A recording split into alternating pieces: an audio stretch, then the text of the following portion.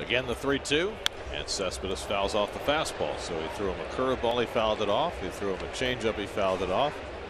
And he throws him a fastball and he fouls it off.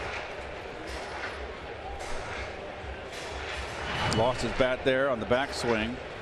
Let's see.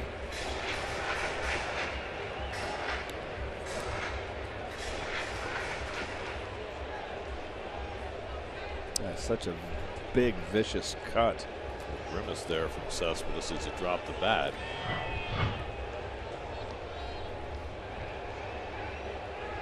Well, the grimace is probably I should have killed that pitch.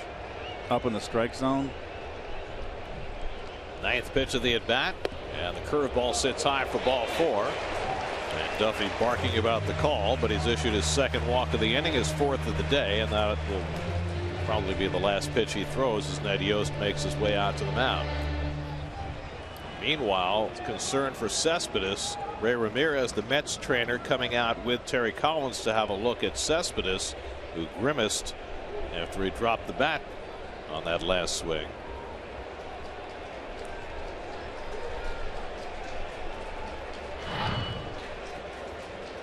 Has he had hand and wrist issues earlier in the year, Gare?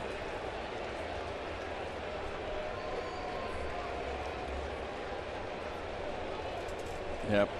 He dropped the bat, which is unusual.